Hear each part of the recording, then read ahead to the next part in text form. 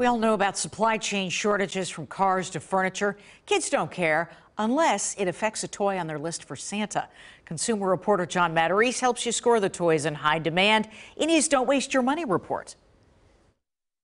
Have kids on your shopping list this year? Then shop now and don't wait till December. That's because the hottest toys will likely be gone from central Pennsylvania shelves.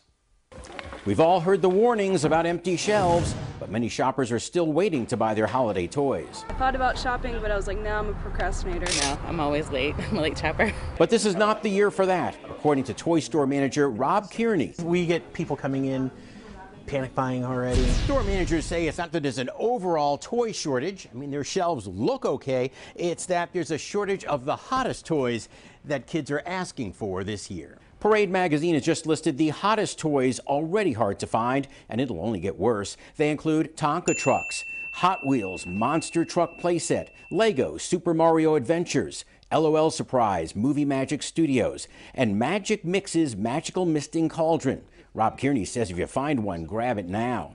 You see that item that you were looking for, don't wait. Parade says toys for grown-ups in short supply include Sony's PS5, the Nintendo Switch, and the new Apple Watch Series 6. So what can you do? Visit stores when they open. Check Amazon and web retailers daily and ask stores about alternate items. Rob says if you can't find Tonka, try Bruder Trucks. Go for Bruder. It's a great company. No LOL dolls? We've got like the Calico Critters, which are um, still a bunch of dress up stuff. Mm -hmm or Polly Pocket dolls, or do what Ashley Cook does and tell your children it's a year for other things. It allows um, the young ones to be creative. Maybe we can get some art stuff instead. Stores typically hold back product for Black Friday and December, but realize you'll be competing with hordes of other parents. So shop now so you don't waste your money. I'm John Matarese, ABC 27 News.